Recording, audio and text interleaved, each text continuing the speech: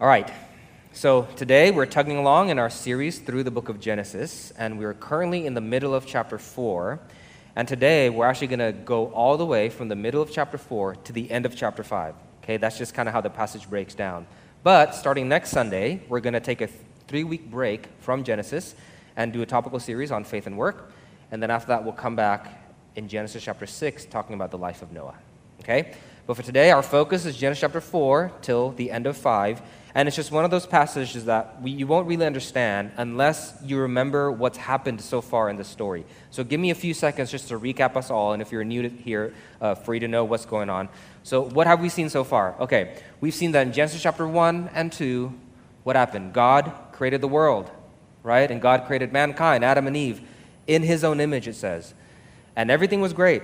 They got married, they were going to have kids, they were going to multiply and fill the earth with a community and a culture that mirrors God. That's, that's called the cultural mandate, as we saw in Genesis chapter 1. That was a plan. But then in Genesis chapter 3 and 4, Adam and Eve disobeyed God. They turned this cultural mandate plan into, into chaos, right? They got kicked out of Eden. Their marriage broke. One of their kids, Cain, killed the, their other kid, Abel. And because of that, Cain got kicked out even further away from Eden, and everything's a mess. But what we'll see here today in our passage is that God remains faithful and merciful to Adam and Eve even after they messed everything up.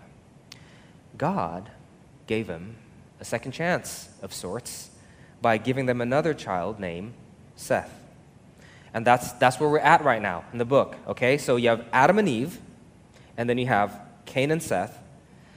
And, and what the author is trying to do in this part of the book is tracing both family lines Cain's family line in Genesis chapter 4, verse 17 till verse 24, and then Seth's family line from Genesis chapter 4, verse 25, continuing here, to the end of chapter 5, okay? And, and the contrast between the two families is kind of the point of the passage. That's why it's so long. I apologize, but we've got to cover both, both family lines, right? So here we have two different families, two different communities, two different cities, you might say, that have two different cultures. One community has a culture that's bent toward the self, and the other community has a culture that's bent toward God. And obviously, the church today is called to be the community that is bent toward God, to be Seth's community, right? And look, before I start, this is really, really important for us all to understand. Why? Because the culture of our church affects the health and the well being of our community perhaps just as much, one might say, than the sermons themselves. How so? Well, let me share an example from my own life, real quick.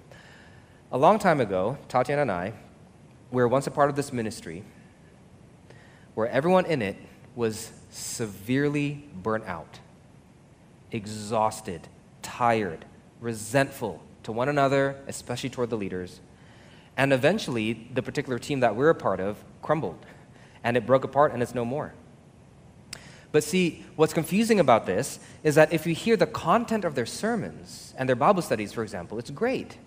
They would preach things like your identity and your value and your worth is in Christ, you know, not in your earthly success or your earthly ministry or your popularity.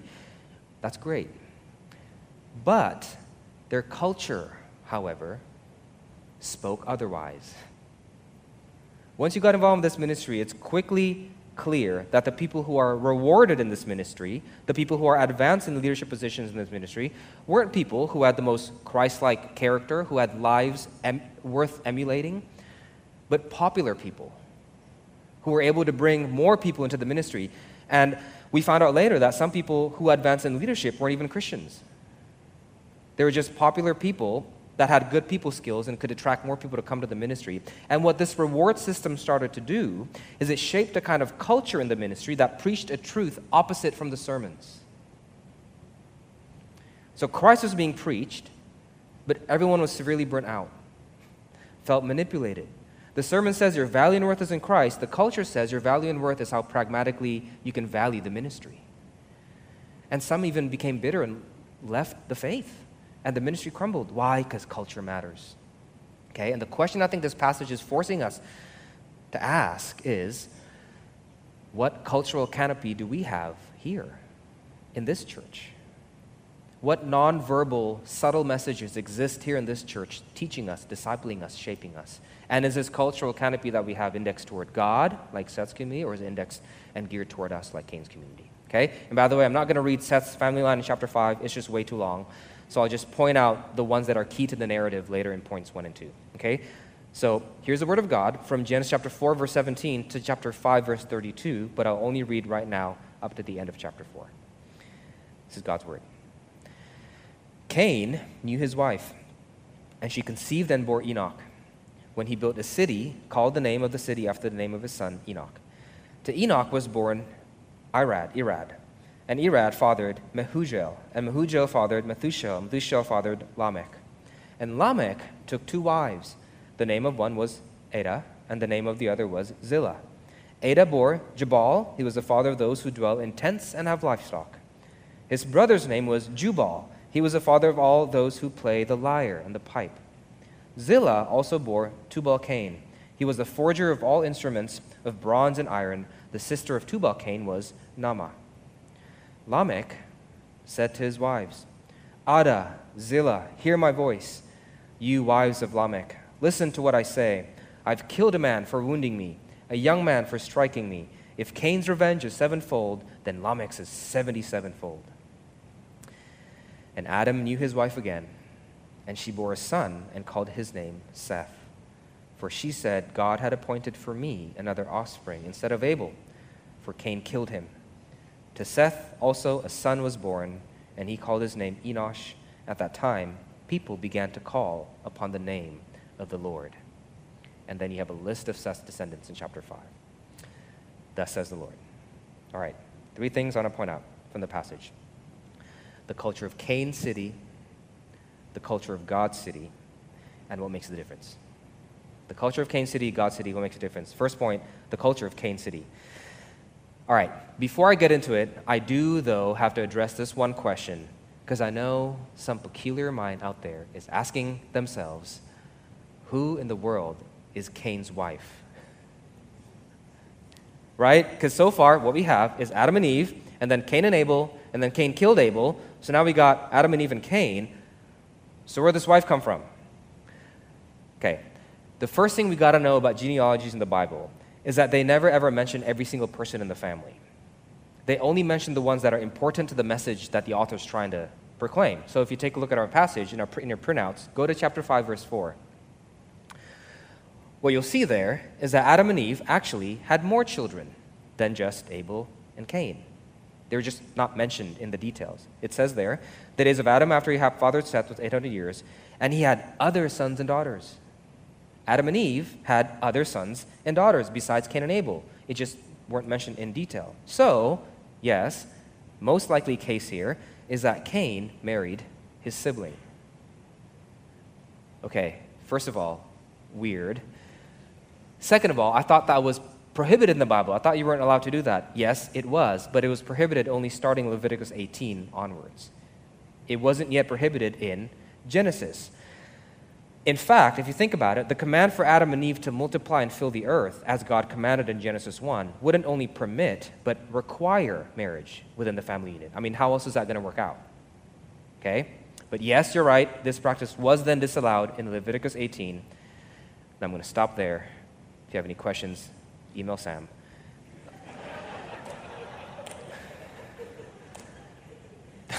the point here is, okay, that even though Cain sinned and got kicked out, far from Eden, separated from God, he still kind of instinctively carried out the cultural mandate. Isn't that interesting? So remember, get married, multiply, fill the earth with a community and a culture, right? That's the original plan. Cain, what did he do? He got married. He had kids. He even built a whole city, it says. A city filled with culture. It had tools, art, music, poetry. Where do we see that? Well, let's take a look at some of Cain's descendants here. Go to verses 20 and 22 in your printouts. First of all, who do you see there? You see Jabal. Verse 20 says, Jabal was the father of those who live in tents and have livestock. Now, that's cultural progress. How do we see that? Well, if you remember in the beginning of Genesis chapter 4, you see Abel, he was also a shepherd, but what did he shepherd? Just sheep. That's it. But now, Jabal here herd whole livestock. That means somehow he's scaled up and figured out a way to have a bigger and better system for herding. Cultural progress, great. And he also made tents, by the way.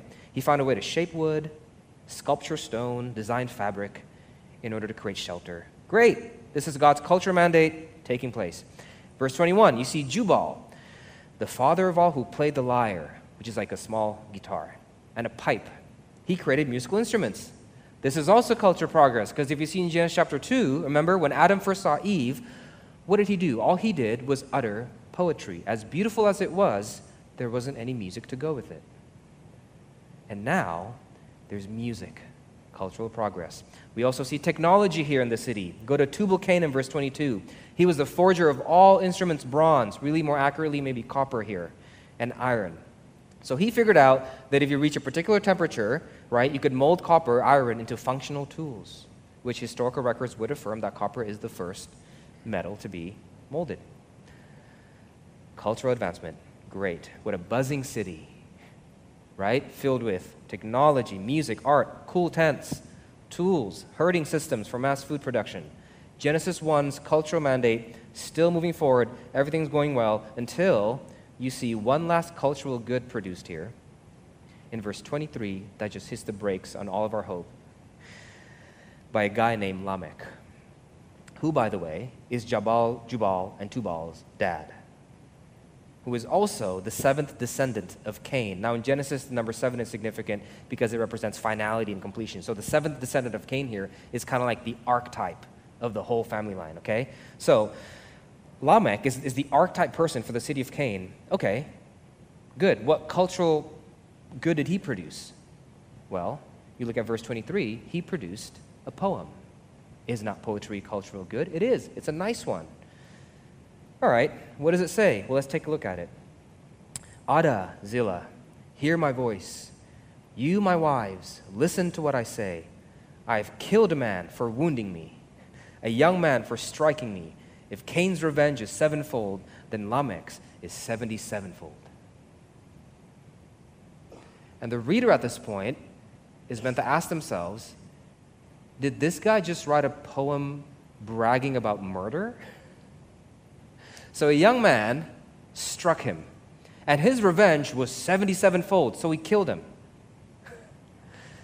And then, and then he wrote a poem about it. He goes, Ada, Zillah, my wives, come, listen to this really cool poem I wrote. I killed someone. Oh, and by the way, he was younger than me. So I'm older, but I'm stronger. 50's the new 20. I still got it. Look at me. Look at my strength. and it's like, what in the world just happened? This poem is meant to redefine everything that we see in the city of Cain. Because now all these cultural goods that we saw made by Jabal, Jubal, and Tubal, uh, Lamech's kids, is overshadowed by the song of their father, the seventh archetypal descendant of Cain. And we start to think maybe these cultural goods weren't made for God. Maybe they were made for the pride and self indulgence of man. And then you start seeing signs everywhere. For example, Lamech, he got married, right? Great, that's part of the cultural mandate get married. But how many wives did he have? Two wives, Ada and Zillah. That's not what God commanded in Genesis 1. God said a husband and a wife, not a husband and two wives.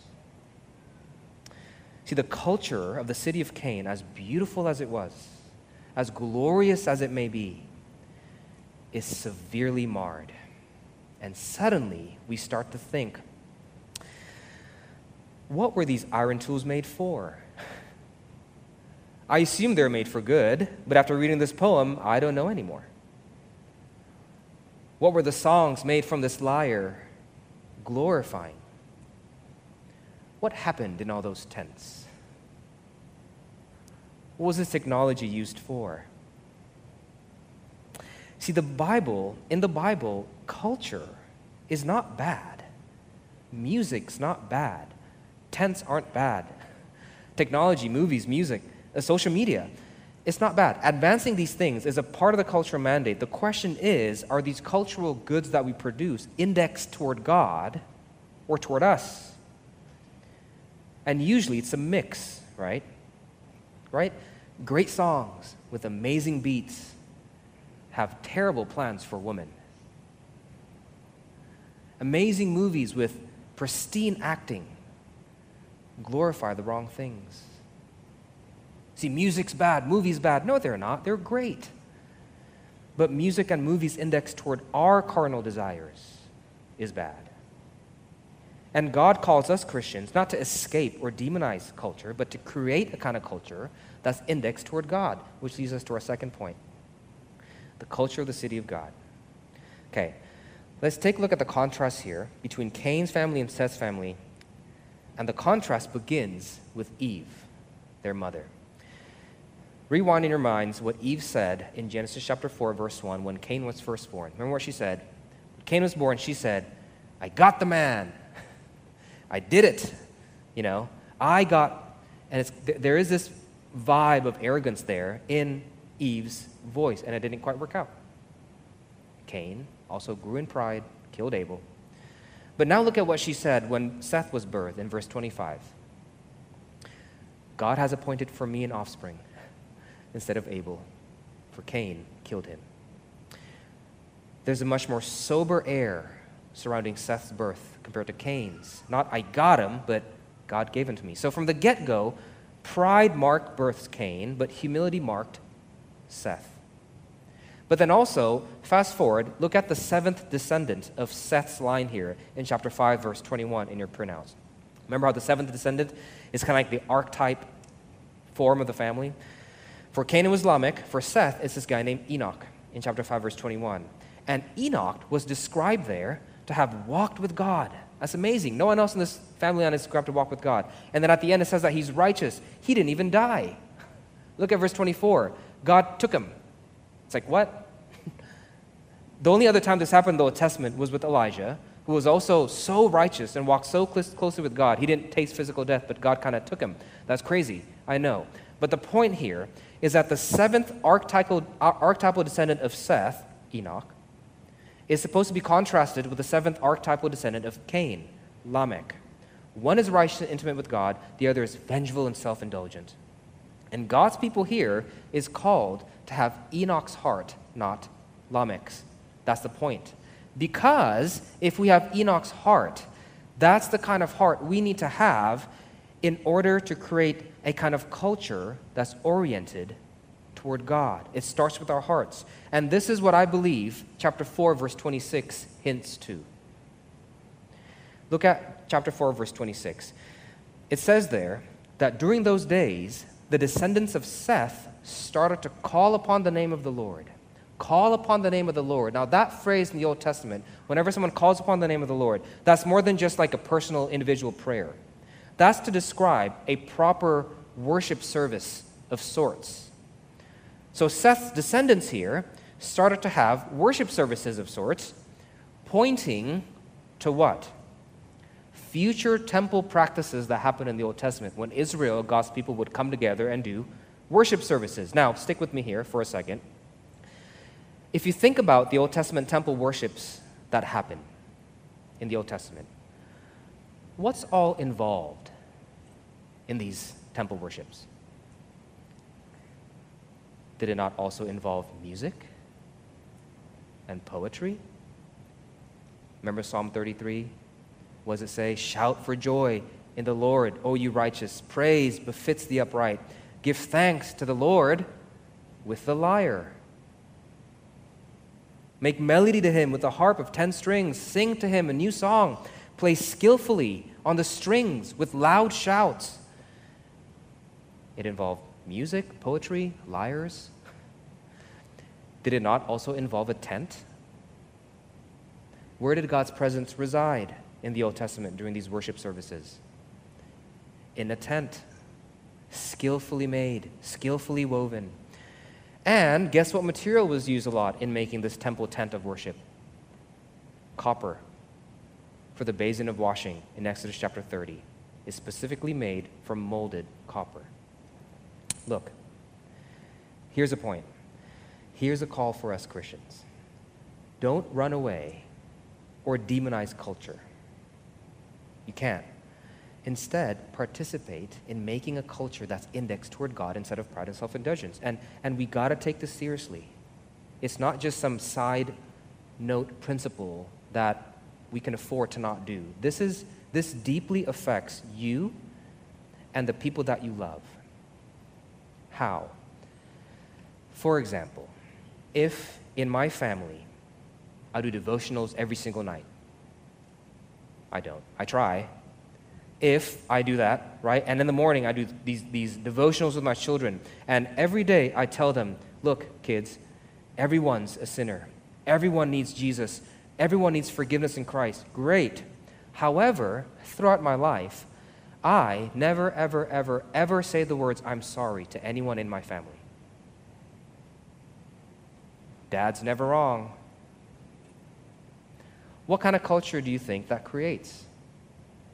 See, my words say everyone's a sinner and they need Jesus, but my actions create a culture that says, except for dad. Which one do you think speaks louder? Or you're managing a team in your workspace and you say to your team this Our culture, okay, is excellence, respect, and dignity. And you paint those three words on the wall, in every wall.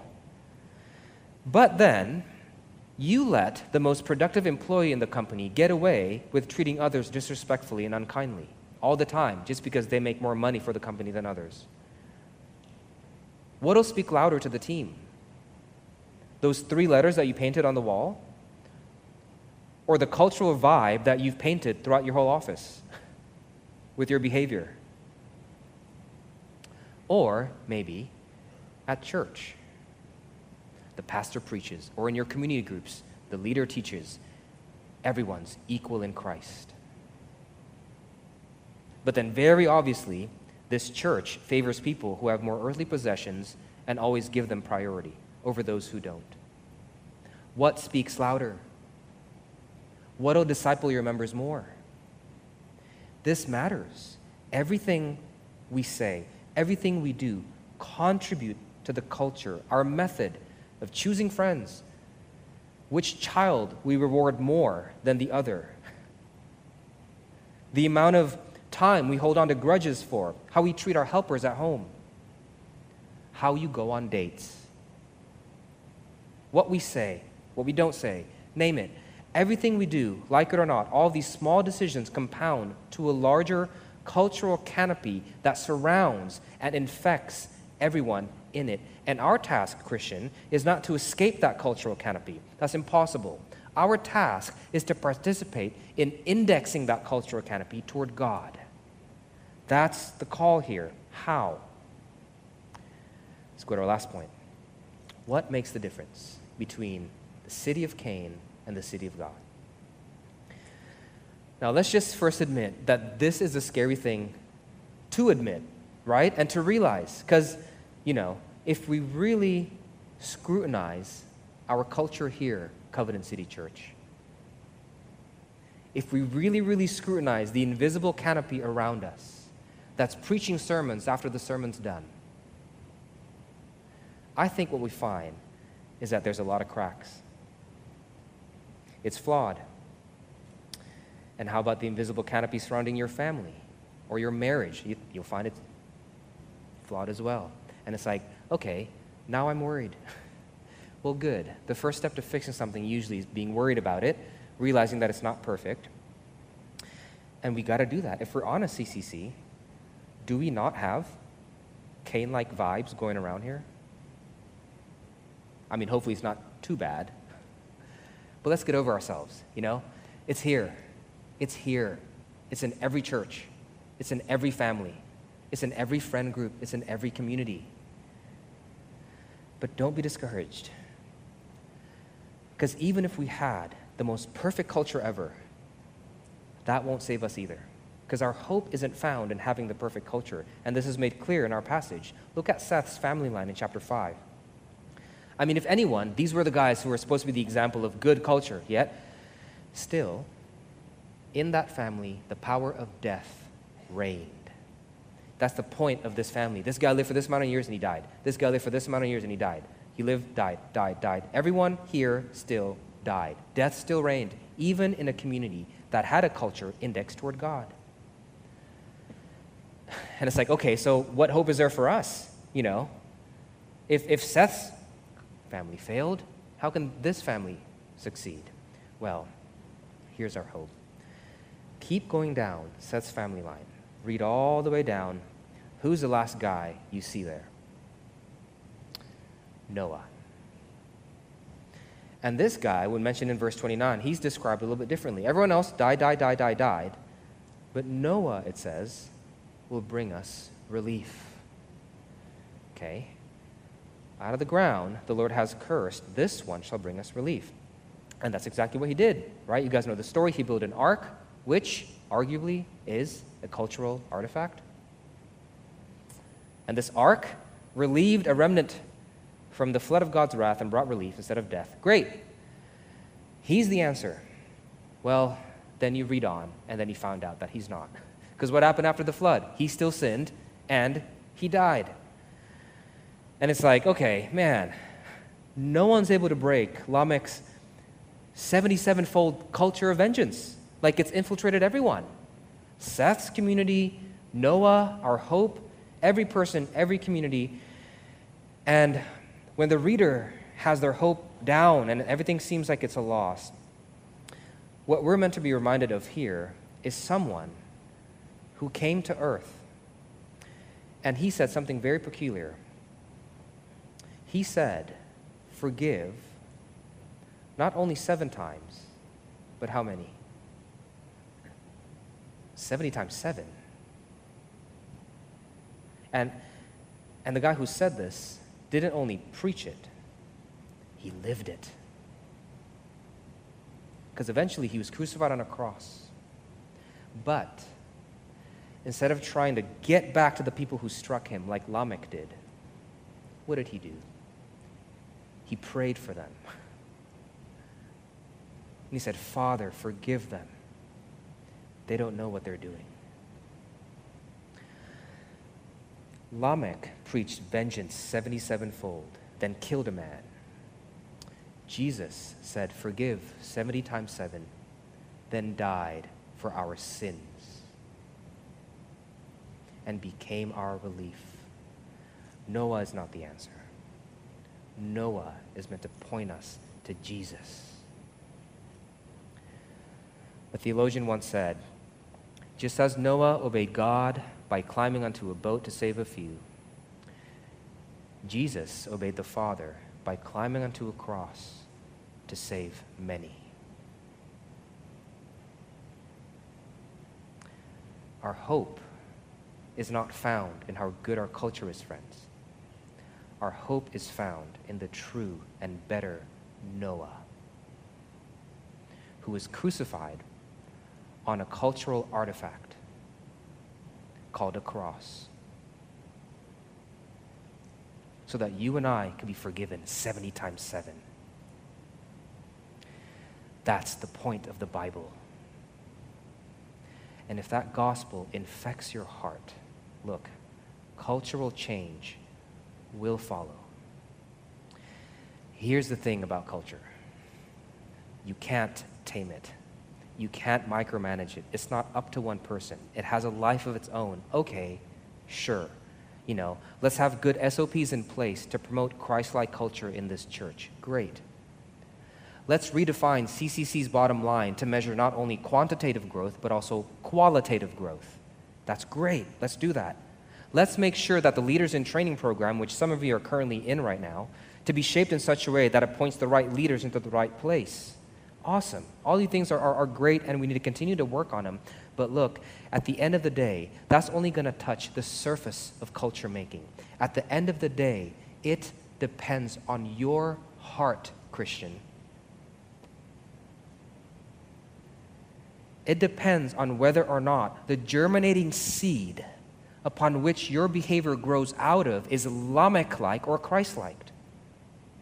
There's no shortcut to it no SOP, no KPI, no training program in this church can replace authentic gospel humbled hearts, and I can't make those. I can't make those. I can barely make it in my own heart. All I can do, all we can do, is direct our attention upon Jesus, who's relieved us from God's wrath, not with a wooden ark, but on a wooden cross. And then hope and pray and beg that the Spirit lights a gospel flame in our hearts hot enough to forge a culture fit to represent the city of God. That's all we can do. Let's do that. Let's turn our eyes upon Jesus and beg that the Spirit, which shaped such a canopy here, we depend on it. May we be molded more like Seth's community rather than the citizens of Cain as we continue to represent him in this city that we love. Would you turn your eyes to Christ with me and pray for this? I hope you will. Let's do that right now.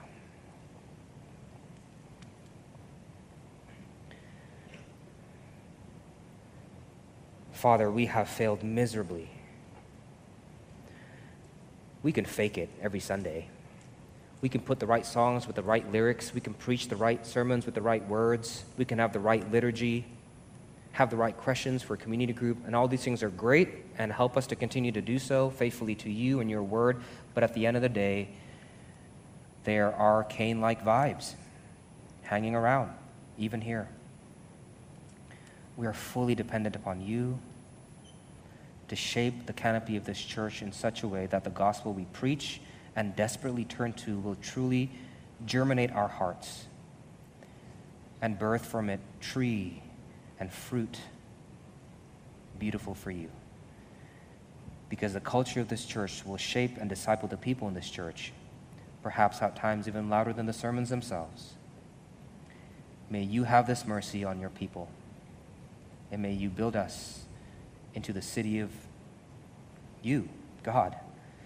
And remember the one who's transferred us from being citizens in Cain to having membership, to having citizenship in the city of God. Christ, the true and better Noah. In him and in him alone, we place all of our hope. And in his name alone, we also pray. Amen.